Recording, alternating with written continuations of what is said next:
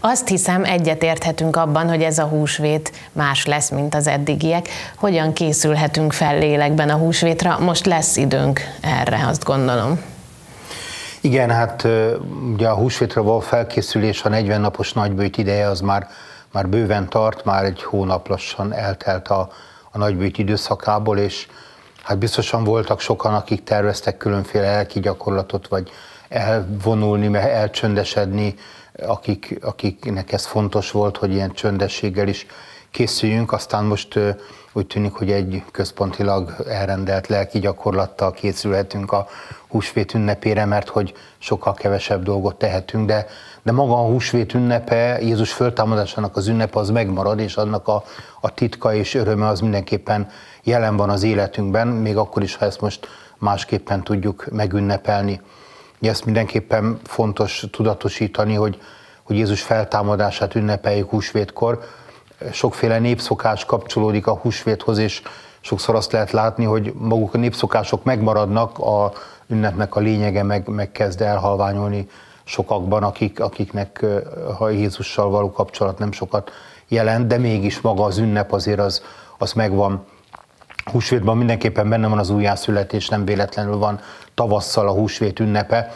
A természet újjászületése utal a feltámadásra, amelyet, amelyet ebben az ünnepben ünneplünk, hogy, hogy a halál az nem egy végérvényes dolog, hanem, hanem egy új életre születünk a halál által, és Jézus föltámadása ezt mutatta meg a számunkra, hogy az a túlvilági lét, amiben gyakorlatilag az első emberek is már hittek, hiszen hiszen azért tettek sok minden használati eszközt a sírokba, mert arra majd szüksége lesz oda át az illetőnek, hogy ez, ez valóban ez egy konkrét dolog, ez egy konkrét élet, ez egy boldog élet lesz, amely vár ránk a, a földi életünk után, és, és ezt tudjuk sokféle, dolg, sokféle módon hát előkészíteni magunkban, hogy azután örömmel lépessünk majd be az örök életbe. A húsvét ünnepe ebben erősít meg bennünket, hogy, hogy Jézus előkészíti számunkra azt a helyet, ahol, ahol majd boldogan együtt lehetünk. Ugye szó esett a népszokásokról, mert meg kell találni a jó egyensúlyt ebben a, ebben a, a, a két dologban, de Hát van egy hagyományos miseren nyilván húsvétkor, ez most valószínűleg eltérő lesz. Otthon hogyan tudunk mégis? Hogyan tudjuk megélni a húsvétot vallási szempontból?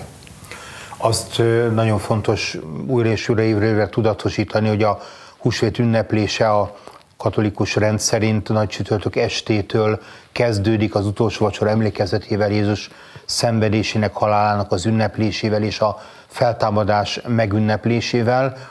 Nyilván azzal, hogy nem fogunk tudni elmenni a liturgiákra, minden valószínűség szerint ez a mai helyzet addigra nem fog megoldódni.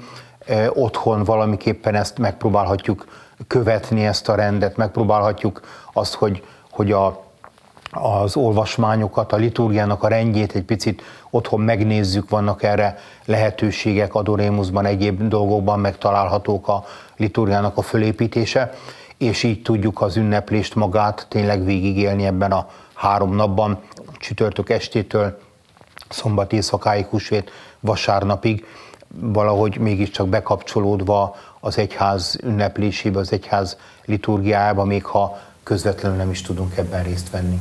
Hogyan folytatódik a húsvét után az élet most erre a helyzetre vonatkozóan is?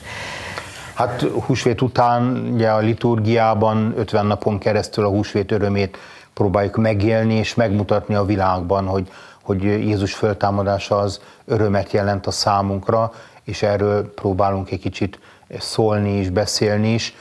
Nyilván a, a mai eszközök, technikai eszközök használatával ez, ez azért ma is megtehető lesz, tehát, tehát minden bizonyal tudunk a húsvét öröméről, szépségéről, a föltámadás öröméről beszélni a, a hozzánk fordulókhoz, illetve a, a minket hallgatókhoz.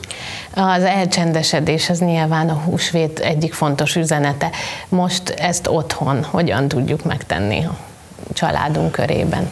Hát úgy tudjuk megtenni, nagyon tudatos odafigyeléssel, hogy, hogy megpróbáljuk kikapcsolni azokat a zajforrásokat, és most ez itt nem akar nagyon negatív lenni, mert, mert nagyon hasznos a tévé, meg a rádió, meg az egyéb eszközeink, de, de megpróbálni ezeket kikapcsolni, hogy, hogy valóban csöndet teremtsünk magunk körül, hogy ezt a belső csöndet, ezt, ezt meg tudjuk tapasztalni, és, és ennek a csöndnek megvan a, megvan a szépsége. Ez nem egy olyan, mint egy vihar előtti csönd, hogy érezzük a feszültségét, hanem, hanem ebben a csöndben tudunk békességet találni, egymásra egy picit odafigyelni, tudunk egy picit, picit tényleg magunkban ellenni, magunkra figyelni, reflektálni a, a magunk dolgaira, egy picit megpróbálni kimondani azt, ami tényleg bennem van, ha csak magamnak is, és, és ebben segíthet az, ha tudok csöndet teremteni magam körül.